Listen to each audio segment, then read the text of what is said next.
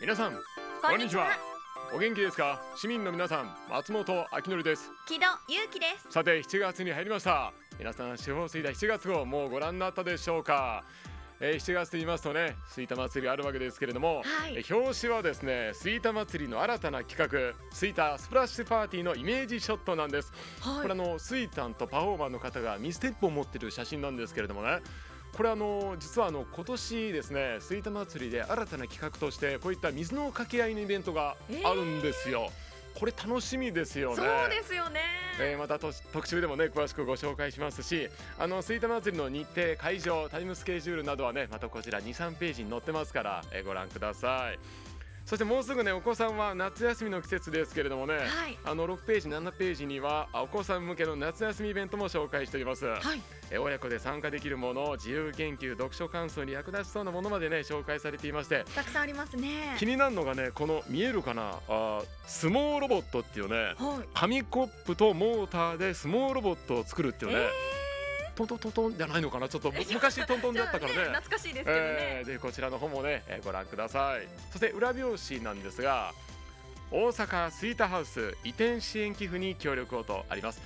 えー、皆さんのご協力のおかげで、えー、目標額2億円まであと少しというところまで来ています。これ今年度末までなんですけれどもねあのふるさと納税ご活用できますので皆さんぜひご協力をよろしくお願いします。さて今回の放送内容はこんな感じになっております特集では吹田祭りにかける夏をその他ご覧のような内容でお届けします。最後までお付き合いください。では番組進めてまいりましょうか。はい。まずは吹田市の出来事などをご紹介する吹田のトピックスです。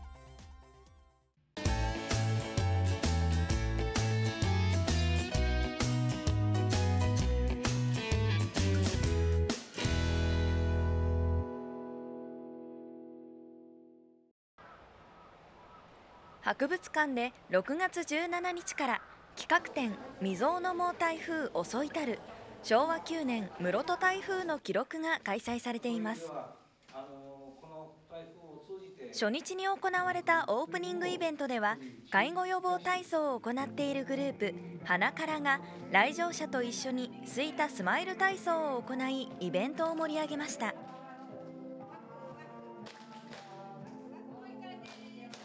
続いて企画展の会場で学芸員による展示解説が行われました。今回は昭和9年9月に日本を襲った室戸台風が京阪神地域にもたらした甚大な被害の状況を当時の天気図や写真新聞などを通して考察。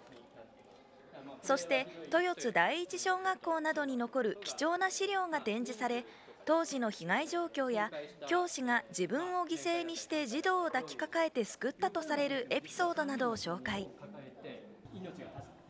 来場者は学芸員の解説をメモするなど熱心に聞いていました。また講座室では仏教大学名誉教授の上村義弘さんが「室戸台風による被害とその遺産」と題して講演を行いました。上村さんは京都市の小学校にある室戸台風を後世に伝える慰霊塔や記念碑などを紹介し災害の遺産の由来を調査し防災や教育に活用することが大切と提言しました。豊津小学校のことをね詳しくはして、あの、学芸里見学芸員が説明されてね本当にあの感心してよく分かりました。非常に勉強になりました。今日はありがとうございます。6月18日くるくるプラザで千里エコフェスタ2017が開催されました。これは環境月間である6月に市民事業者行政が一体となって啓発イベントを行うことで環境保全活動への理解と協力を広げようと開催されたものです。今年は千里リサイクルプラザと資源リサイクルセンターの25周年にあたり会場中央に設けられた企業ブースには市内外に事業所を置く20の企業や団体が出展。パネル展示やクイズなど工夫を凝らして環境保全の取り組みを PR していました。また牛乳パックを使った紙すきや木工などの6種類のリサイクル体験のほか家で使わなくなった服や日用品おもちゃなどを販売するフリーマーケットが行われるなどたくさんの人でにぎわっていました。そして特設ステージではアカペラやマジックショーポップスオーケストラによる演奏が行われて会場を盛り上げたほか壊れて遊べなくなったおもちゃを直してくれるおもちゃ病院や発電機を漕いで模型を走らせる発電コーナーが設けられるなど会場を訪れた人たちにさまざまな角度から環境保全の啓発を行っていました。くるくるの木材のところでこういう楽器を作って楽しかったです。風呂敷を利用して本当日本くらいのを利用してあこれはすごくいいなちょっと覚えたらいいなと思いました車のおもちゃを作ったんですけどもペットボトルの蓋とかでこんな風にできるんだなっていうのがあのすごく勉強になって楽しかったです。今回の千里エクフェスタを通してね子どもたちから大人の方まで環境について考えるいいきっかけになったんじゃないかなと思いましたね。そうですよね。それにエコに関わるいろいろな体験ができたのも良かったんじゃないでしょうか。そうですよね。あのこちらのね資源リサイクルセンターは1階から3階が破砕選別工場としまして、まあ、ゴミの分別をしているんですよね。はい、で4階から5階がですね、えー、くるくるプラザとしまして、まあ、ゴミの再利用研究などをしているということで実は僕たちも利用できるところが結構ありましてね、はい、例えばあの市民工房なんかではガラス工芸え陶芸あとね木工などもできるということで結構面白いイベントいっぱいありますね。そうですよね。ぜひ皆さんこちらご活用ください。そして一つ目の話題博物館企画展について室戸台風が80年以上前にありました、はい、えー、ここ吹田でもね本当にあの甚大な被害をもたらしたわけですけれどもまあその教訓を胸にまた刻もうということで今回開かれました。でまあこれから台風の季節ですけれどもねうちの一個とかねまだ小さいんで結構はしゃぐんですよ。台風だとか言ってね。もう絶対台風怖いからもうダメだよって言うんで怒るんですよね、はい、えー、皆さんもこれからの季節十分にご注意ください。以上トピックスご紹介しました。続いては吹田の動き6月20日つくも大小学校の児童が校内にある水田で田植えを行いました。これは農作業体験を通じて児童に食べ物の大切さや命の尊さを学んでもらおうと NPO 法人吹田体験活動クラブの力を借りて毎年行っているものです。この日は5年生の児童84人が同クラブのメンバー7人から田植えの指導を受けて作業を開始。3本から4本の苗を手に取り水田に張られたロープを目印におよそ30センチメートル間隔で次々と植えていきました。ぬかるんだ土に苦戦しながらも楽しみながらおよそ2時間の田植え体験を終えました。育てた稲は順調にいけば秋に収穫を行い児童らが手作業で脱穀しもみすりや精米を行った後おにぎりにして食べる予定です。6月23日青山台小学校で服を着たまま水中に落ちた場合の対処法を学ぶ着衣水泳の授業が行われました。これは服を着たまま泳ぐことの難しさや水の危険性を知ってもらおうと行われているもので同校では10年以上前から夏休みを前に着衣水泳の授業を実施しています。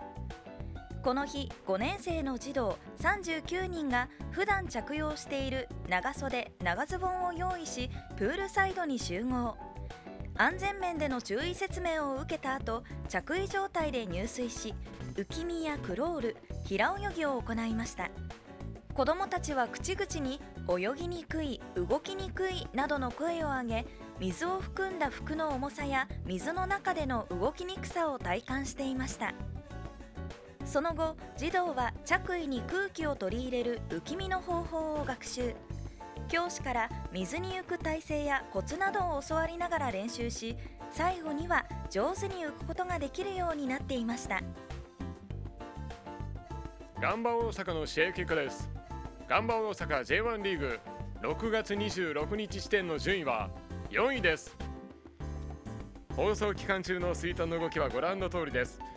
7月1日から旧西時住宅で七夕笹飾りが7月9日には地元農産物江坂朝市が豊津公園で日本の伝統文化着物の祭典が千里ニュータウンプラザで行われます。ガンバ大阪リーグ戦はいよいよ折り返し順位は4位ということで、まあ、十分優勝を狙える位置にまだいるわけですよね、えーそしてですねまた新メンバー加わります、韓国からフォワードファン・ウィジョが完全移籍で加入ということでまたメンバー加わってね楽しみですよね活躍がね。ねえー天皇杯も勝ってますよ。あとあの7月23日にはファン感謝デーありますからね、えー詳しくはガンバ大阪ホームページご確認ください。以上スイータの動きでした。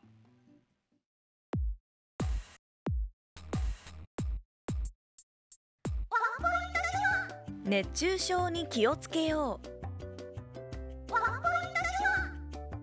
熱中症に気をつけよう。熱中症に気をつけよう。熱中症に気をつけよう。次は特集です。はい。今回はスイタ祭りにかける夏と題してお届けします。それではどうぞ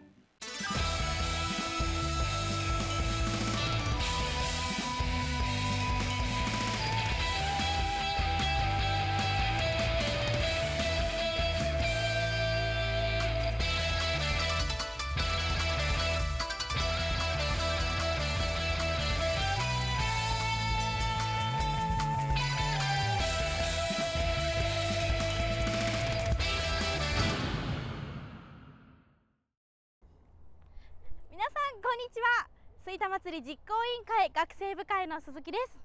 今回は私が吹田祭り本祭りの見どころと吹田踊りの魅力についてご紹介します。7月30日日曜日に行われる吹田祭り本祭り。JR 吹田駅前の朝日通りではバトントワリングやブラスバンド演奏をはじめ各種団体がさまざまなパフォーマンスを繰り広げながらパレードを行います。とここまでは例年通りなんですが今年はパレードの前にちょっとしたイベントがあるんで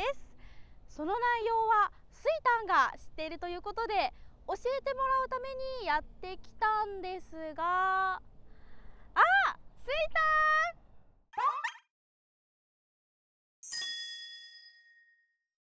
スイタン今年はパレードの前にイベントがあるって聞いたんだけどどんな内容なのかな？こんなところで何を教えてくれるの？ちょっとスイタン何するの？待って待って顔だけはやめて。スイタンびしょびしょ今年はパレードの前にスイータスプラッシュパーティーを開催します。これは水鉄砲を使ってスイタンやパフォーマーたちと一緒にびしょ濡れになろうという企画です。総勢80名によるオープニングパフォーマンスと消防用のウォーターカーテンホースから飛び出す噴水が見どころです。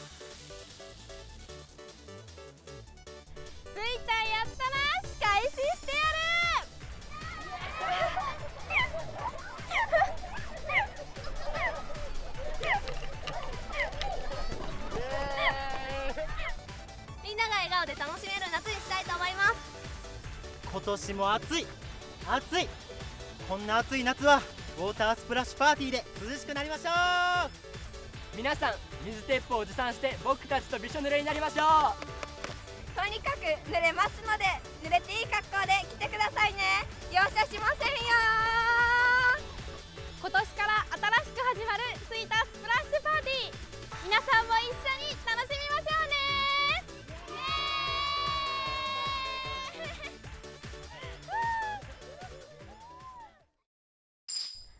スイタスプラッシュパーティーで始まる今年のスイタ祭り。普段びしょ濡れになることがないのでとても楽しそうですね。さてスプラッシュパーティーパレードと続きその後朝日通り商店街で行われるのが吹田踊りです。吹田踊りは前夜祭の江坂会場と本祭りの2会場で行われるダンスコンテストです。ルールはただ一つ。衣装の中に吹田踊りのイメージカラーである水色を入れること。それぞれの団体が趣向を凝らしたダンスを披露し最後には優れた踊りなどを披露した団体に賞が贈られます。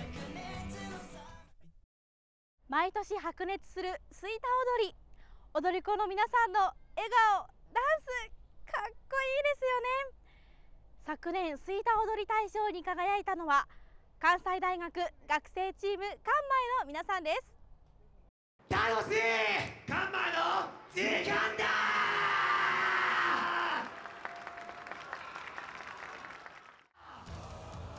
ディフェンディングチャンピオンとして今年も吹田踊りに挑む関西大学学生チームカンマエメンバーに吹田踊りについて伺いました。他のお祭りでしたらもうすっごいでかいステージであのお客さんももう1万人とか2万人とかおるような大きいステージで踊ったりするんですけど吹田祭りはその大きいステージとは違ってお客さんとすごい近い距離で踊れるお祭りなので大きいお祭りで踊るのもまた別の楽しさがあるんですけどその吹田祭りのいいところはやっぱお客さんと近くて地域密着型といいますかやっぱ地域のお客さんが見に来てくれて僕たちも吹田市を拠点にしているのでそうやって地域の方と触れ合えるっていうのは吹田祭りならではのことかなと思うので僕たちも吹田祭りはとても大切な祭りとして定義づけて全員で頑張ってます。えっと、去年の吹田祭りでなんですけど初めは黄色の衣装やったんですけどそこからピンクの衣装に変えるんですよ。後半途中で。衣装がすごいライトアップでまた光って見えて綺麗に見えたっていうのがあって終わった後お客さんに、まあ、かっこよかったよであったりあの綺麗やったよっていうのをもう終わってすぐお客さんが言ってくださったのでそういう面ではやっぱ吹田祭りでお客さんにそうやって言ってもらえるのはとても印象に残ってます。吹田祭りの吹田踊り見て入りたいあいます。地元の子やったらその吹田祭りで関前を知ってで関西大学やし家も近いからということでその関前に入るために関西大学に入学したっていう先輩もいてやっぱその地元吹田市で踊るっていうことはやっぱ結構大きいことなんかなと思いますね。今年僕たちがえっと、去年の8月後半にあるお祭りからこの吹田祭りまで踊ってる作品のテーマが吹田祭り自体をテーマにしている今作品を踊ってるのでその今まで踊ってきた作品よりやっぱり自分たちのテーマとしているお祭りで踊れてなおかつ大賞を目指せるっていうのはそのとてもやっぱ気持ちが強くなってチーム全体としてやっぱ思いも強くなっていくのでお客さんに近い距離で見てもらってで感動してもらえたらいいなと思ってましてそれ感動してもらった上で賞をいただけたら、まあ、なお嬉しいなと思います。吹田踊り大賞を目指すのは関前だけではありません。昨年度惜しくも受賞を逃したチームが今年も参戦します。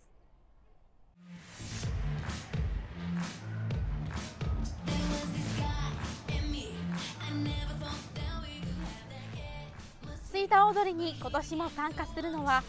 昨年水丹賞に輝いたさつきが丘シェイクの皆さん。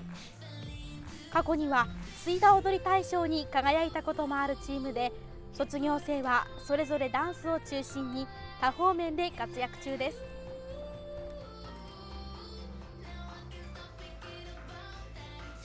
吹田祭り自体は一番初めに地域の活動としてみんなでソーラン行った時に優勝大賞をもらったんです。去年は水丹賞いただきましたししてますけど賞を取ることじゃなくていかにみんなが楽しめるかを作っていただいてる皆さんのおかげだというふうにみんなが感謝し合えるそんな感じでちょっと細々とでも参加させてもらってます。楽しく元気にキュートに踊ることが今年のテーマです幼稚園2歳から中3までいるのであのお姉ちゃんたちがちっちゃい子たちを引っ張ってあげたりとか位置とかそういうのもフォローしながらやるところがすごい愛おしくてなんかあ頑張れってなるので そういうところをまあ見つつ応援しつつ見ていただけたらいいなと思います。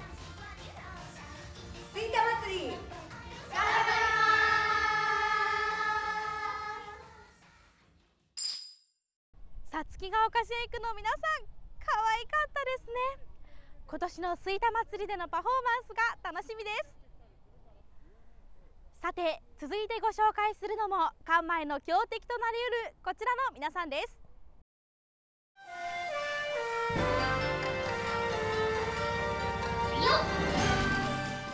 昨年皐月賞に輝いた無限カジピトゥ子供から大人まで幅広い世代が参加するファミリーよさこいチームで今年結成16年目を迎えます。はい、えっとテーマが大阪シンフォニーと言いまして、まあ、大阪の賑やかさとか、まあ、楽しさを踊りでいっぱい表現しようと思って、まあ、大阪といえば食い倒れさん食い倒れ太郎さんのなんかカラーを着たりとかあと帯に大阪らしいのをボンボンボンとシンボリックに作ったりして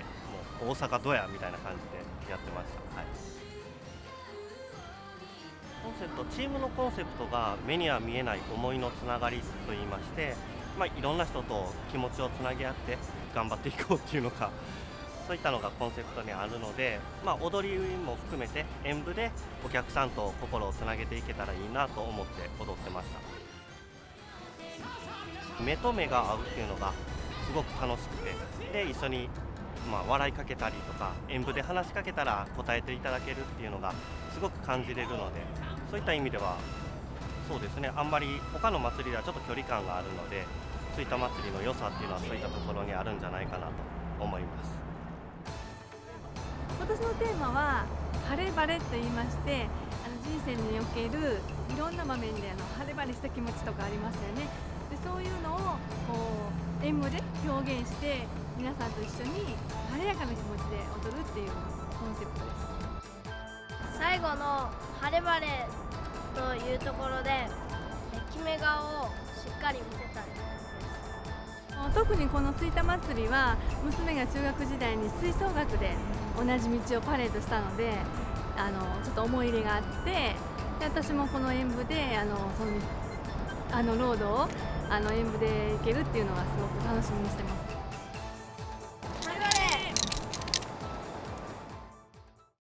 最後に皆さんに吹田祭りについてお伺いしました7月であのお祭りに出るのが吹田祭りだけなので、まあ、すごくそこに集中して頑張っていこうっていうのとあとはパレード演舞ができるっていうのが私たちのチームにとってはすごく大きくて横に横で見てくださるいろんな人に出会えるっていうのがすごく大きくてそういったのも楽しめるのが吹田祭りの良さかなと思ってます。あの関西大学のね学生さんたちも毎年変わって頑張ってくれてはりますけどああいうふうにあのつなげていく、うん、つなげていくいうことが人のつながりになっていくと思うんでそういうのがつながってお祭りって継承されていくんやなみんなが楽しんでいけるんやなと思うんですけど僕たちはその賞を取ることを目標にしてるんじゃなくてお祭り全体を盛り上げていくっていうことを、まあ、目標としてるんですけどその僕たち今踊ってる作品の最後のお祭りでもありますしお客さんに感動を届けた、まあ、その先に賞っていう評価をいただけたらやっぱ嬉しいなと思いますしやっぱ心のどこかでみんなやっぱ賞を取りたいなとは思うと思うのでそういう全員の気持ちを一つにして練習から頑張っていけたらなと思います。皆さんの吹田踊りにかける思い素敵でしたね。では改めて今年の吹田祭りについておさらいしましょう。吹田祭りは7月29日の前夜祭と30日の本祭りの2日間行われます。前夜祭は江坂会場と千里南会場でご覧の内容で行われます。そして30日の本祭りは JR 吹田駅周辺で開催。吹田スプラッシュパーティーやパレード。吹田踊りのほかサンクス夢広場会場やメロード会場にもステージが登場しいろいろな団体がパフォーマンスを披露します。吹田踊りでは今回紹介した団体の皆さんも登場します。吹田祭り当日私たち学生部会はこの水色の T シャツを着て祭りをサポートします何かわからないことなどがあれば気軽に声をかけてくださいね。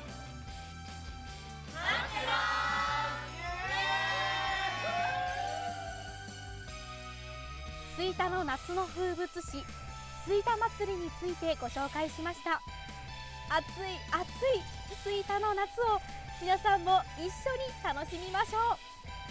それではまた会場でお会いしましょう。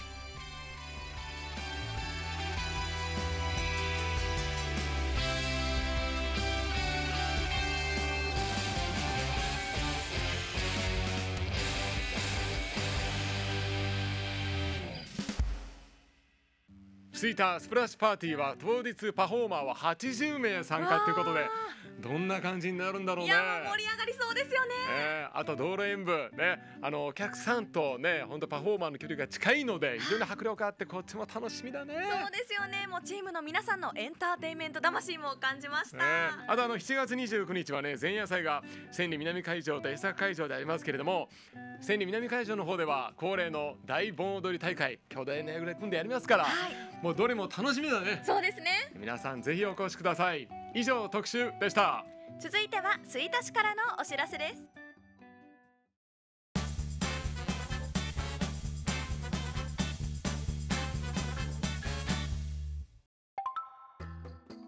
友好交流都市フェアを開催します。国際交流都市のスリランカのモラトア市。オーストラリアのカンタベリバンクスタウン市と国内交流都市の新潟県妙高市。福井県若狭町大阪府能勢町滋賀県高島市高知県土佐町兵庫県上町をパネルで紹介します。期間は7月1日土曜日から7月31日月曜日まで。場所はエキスポシティ内のインフォレスト吹田です。詳しくはインフォレスト吹田までお問い合わせください。特殊詐欺を撃退するため電話の通話を自動で録音する機器を貸し出しします。工事不要ですが自身での設置が必要です。対象は市内在住の65歳以上で高齢者の単身か高齢夫婦のみ。もしくは日中高齢者のみとなる世帯のいずれかに該当する世帯です。定員は200世帯1世帯1台までです。申し込みははがきに住所名前生年月日年齢貸し出し対象世帯条件装置を設置する電話番号と日中連絡の取れる電話番号を記載し市民総務室へ。締め切りは7月31日月曜日必着です。詳しくは市民総務室までお問い合わせください。ミニプールや水鉄砲で夏の暑さを吹き飛ばすポカポカ広場水遊びを開催します。水着とタオルを持参してください。日時は7月15日土曜日午後1時から午後3時まで。対象はおおむね3歳から小学3年生まで。未就学児は保護者が同伴してください。定員は先着80人です。詳しくは浜屋敷までお問い合わせください。さてエンディングです。次回の放送内容はどうなってますか？はい。次回の更新日は7月11日です。トピックスでは食育講演会なぜ食べ過ぎるのかや自然素材のハンドメイド教室の様子を。特集はスイタでイクメンお父さんの育児をお届けしますあとこの番組はですねこちらにも書いてますけれども YouTube で配信しています。ぜひ吹田市のホームページなどからご覧ください。それではまたさようなら。さようなら。